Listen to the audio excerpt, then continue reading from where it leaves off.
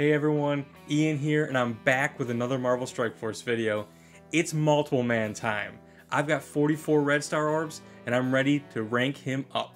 Let's do this. First orb.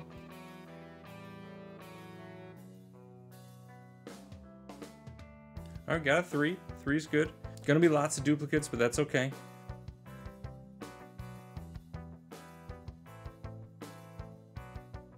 All right, first multiple man, it's a three. I love it.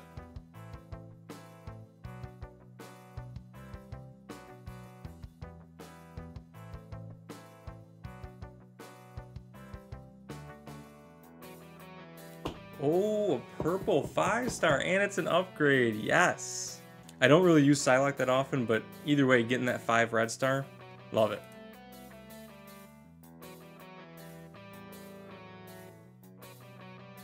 Purple.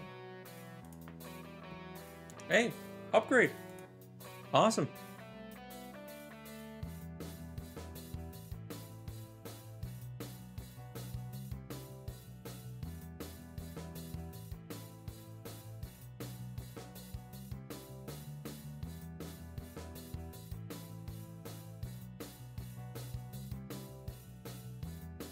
Second multiple man drop. Want to get seven stars. That's a one multiple man. Another one.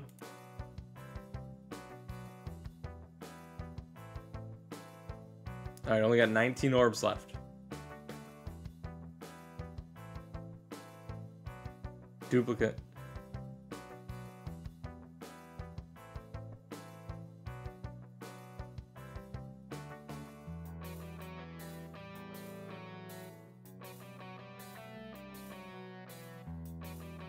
I'm loving all these purple drops. 10 left.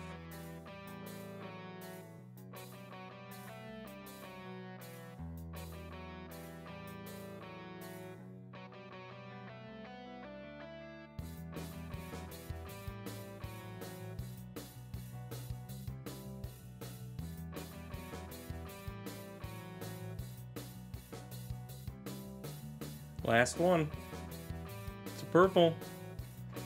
Hey, another upgrade. Yes. All right, let's take a look and see what I got. Four upgrades on 44 orbs. That is not bad. Totally will take that.